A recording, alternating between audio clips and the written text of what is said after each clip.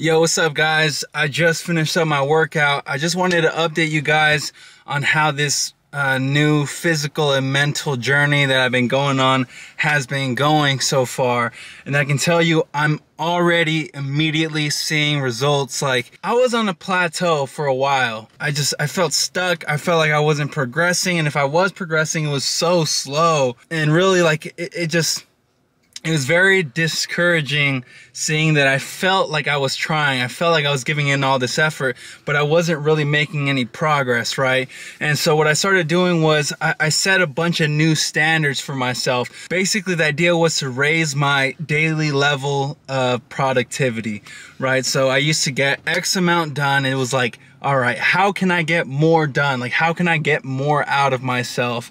Within the same 24 hours, you know, and without without like sacrificing sleep and stuff like that because here's the thing, man, like it'd be life would be so easy if I could just say, "All right, man, I'm just going to sleep 4 hours a night." You know what I mean? Then I get an extra 3 hours uh, you know, throughout my day to take care of the things that I want to do. But because bodybuilding is a goal for me and it's almost, it's a priority for me, uh, I got to prioritize muscle growth. You can't grow the muscle if you're not getting enough rest, if you're not getting enough sleep. So for me, it's very important. It's actually a priority that I get enough sleep.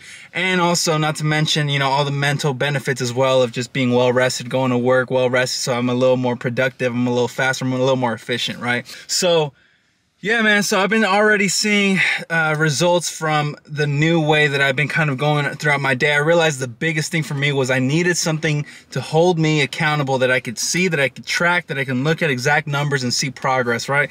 So for example, with my weight, I hit 225 a couple months ago, you know, and I kept kind of going between 220 and 225. I was in that range for a very long time and I felt like I couldn't break that. Once I got to 225, I would just start feeling really like full and like I just I, I don't know, man. I, I don't know if it was a mental challenge or what it was, but I just couldn't seem to break past that and consistently uh, weigh in over 225. And as you guys know, I'm going to be uh, competing in a men's physique show in a couple months. So I've been putting on as much weight as I can uh, so I can put on some muscle before my cut begins, right? And so once I start, the, the difference, the change I made with that in, in terms of my diet was I started tracking my macros. I started counting my calories, right? I set a goal first at 3,900 calories. I thought that would be enough and uh, while I did see my weight starting to climb, it wasn't rising at the amount that I needed it to. So I really, I bumped it up to 4,100. And even then, I've been doing a little over that on a consistent basis. I just hit 228 pounds this morning, which is the heaviest I've ever been in my life, right? And this was this was a massive breakthrough for me because it's like I've been stuck at that weight so long and all it took was for me to start counting my macros and hold myself accountable to the amount of calories I should be eating in a day, right? So that's why I started doing that and it's been paying off already. My workouts have been intense. I've been working out six days a week and I'm now instead of taking a rest day off, I'm doing an active recovery day, which I talked about in my last video, which was really about, you know, coming in, hitting the sauna, doing some stretching, you know, uh, hitting the pool, the hot tub, like something, you know, doing some uh, low intensity steady state cardio just to get my heart rate up, right? To help me with recovery.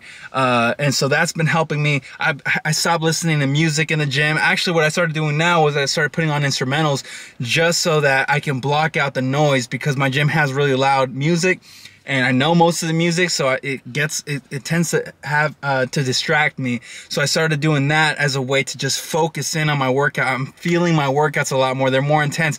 I'm actually focused, like on every single rep, on every set. I'm thinking about what I'm doing. I'm present, right? I'm I'm present in the moment. That's one of those side effects that I've really been seeing from what I'm doing now.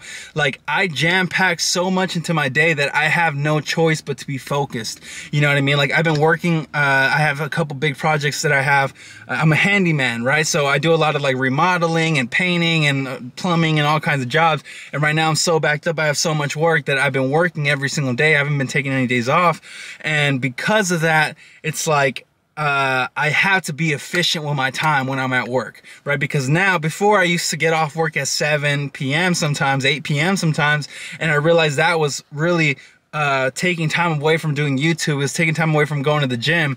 Um, and so I decided, like, you know what? I need to sacrifice some work in order to be able to pursue what I'm trying to do here with YouTube and with the gym. So now I have a, a more strict schedule. I'm going to work from nine to five, right? And I'm trying, I'm doing my best to get off by five o'clock. That means what I used to do in 10 hours, I'm trying to do now in eight. I've been, I've been really trying to become as efficient as possible. And the only way to do that is to be focused while I'm at work. So less, you know, listening to music and all that. And like now I'm just more like, okay, uh, like let me just focus. Let me, let me, let me, let me figure out what I have to do and do it as fast as I can obviously while keeping the quality of my work at the standards that I have them, which are high. And that's been paying off. I've been making a lot of progress there. And then just little things throughout my day, man. Like I started taking cold showers, right? Today is day eight of uh, taking cold showers. Now, at first it felt like it got a little easier after like the third day and then that was about it. I'm still it's hard man. It's hard. It's not easy getting in that cold water but i'm doing it for the mental benefits of like doing something hard, callousing my mind, doing something that I don't want to do, becoming comfortable with being uncomfortable, like, and not just slightly uncomfortable, like extremely uncomfortable, right? You have, sometimes you have to be able to do those things that make you very uncomfortable, that you don't want to do, that you dread. You got to get comfortable and used to pushing your mind through those things and just doing them, right? It's something between, it's something about like separating your mind from your, from how you feel, separating your feelings from the things that you need to do, from the results that you want to achieve, right? So it's like before I hop in that shower, I know it's cold. I know I'm about to suffer. I know it's going to shock me this moment I touch that water. But it's like, don't even think about it. Don't even think, because you're to get it anyways. Like I already, I, I told myself, like, this is what I do now. This is what we do. Like we take cold showers, right? So if I'm to do it regardless and I'm not to give myself a way out, it's like, all right, I just got to do it then. I just got to get in right? I, I, am gonna get in anyways. I might as well not sit around and mope and complain and, and stare at the water. Just get in, bro. Like you're gonna get in anyways, right? And then attacking everything else in your life with that mindset of just like, just do it anyways, bro. Fuck your feelings. Fuck how you feel about it. You know, don't debate and try to ra rationalize and, and logic, lo make it like logical or whatever. Bro, just, you know what you have to do. Just do it right? And that's kind of my new mindset that I'm moving forward with. And I've always had that. I've always had that to an extent, but uh, right now what I'm focused on is raising my baseline. Right. And so this is what, what I think. This is my personal belief, right? I know some people might not agree with this, but I hear a lot of people say like, oh, you just got to get better 1% every day. And in a year, you'll be 365% better, right? Yeah, that sounds good on paper, but it doesn't really work like that. You can't get better 1%. Like, how do you measure that? How do you know you got better 1% today, right? You did an extra rep. It's like, all right, but then tomorrow you won't do the extra rep and then you're just back at zero. That doesn't make sense, right? I believe like it's, it's better to shoot high and fall short than to just shoot short from the beginning. Like, what's the point, right? And so what I did was like, all right, you know what? I'm just gonna jump in the deep end. I'm gonna set all these challenges and goals and daily uh, kind of missions in front of me. I'm gonna do my best to attack these things at my very best capability. If I fall short, but I at least tried my best, then I know I at least improved a lot more than I would if I would have just shot for a lower goal from the very beginning, right? And so, yeah, so I started uh, setting all these goals for myself so far I've been doing good. I've been accomplishing them. I said I would start uploading three times a week. I've I've been doing that. It hasn't been easy. Last night I was up to like 2 a. I woke up at 6 a.m. yesterday. I went to bed at 2 a.m. I was back up at 6 a.m. today, right? Because I committed to uploading these videos and and because of uh, right now my life is a little uh, uh, hectic because my parents are out of town, so I've been staying with my with my like sisters, like babysitting type of thing, and so you know, it's just like it's not optimal for me on, on, what my schedule is usually like, but I'm doing my best and I'm still get I'm still getting to it, man. I'm still doing what I got to do. I'm not making any excuses like I, like I've done before because I'm getting serious about this shit, you know. And so that's the idea. Oh, the idea is to raise what I was saying was to raise the baseline, right? So if if I'm at 0 here, right? this is my baseline. This is where I, where my natural productivity is at, right? So for me, that was going to the gym every day, right? Getting my workout in, which I was, which was always intense. It was always serious, but sometimes I wasn't all the way there mentally. I was just kind of in the routine, you know, and, uh, I w- I wasn't super focused, right? You know, and, and obviously I was eating a lot every day, clearly not as much as I thought I was, but I thought I was eating more than enough, but I wasn't like tracking my macros. So that sort of thing, right? That was my baseline. What I did was like, all right, I'm gonna, and then with the YouTube thing, like I was, I was supposed to be doing one video a week, but then sometimes I would go weeks without posting, right? So it's like I had these, I had these short, these, th- th- that was my baseline. So I decided, all right, I'm just gonna throw all this shit on my plate, right? I'm gonna do my best to accomplish them. If I fall short, like let's say I got 20% better, right? After raising my baseline, the idea is all right, this is my baseline. I'm going to improve 20%. I'm going to be 20% more productive.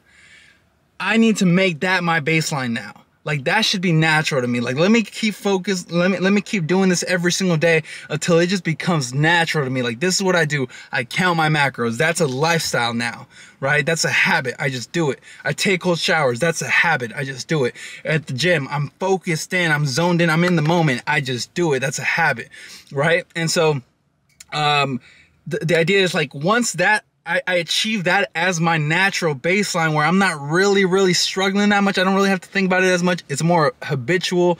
Then I can say, okay, now let me raise it another 20%. What more can I add on? Right. And I, I feel like that's how you become prolific. That's how you become extremely productive in the things you're doing. And that's how you break through those plateaus that have been holding you back and which has been my biggest problem probably for years now, man. Like I, I never, I, I, I don't like,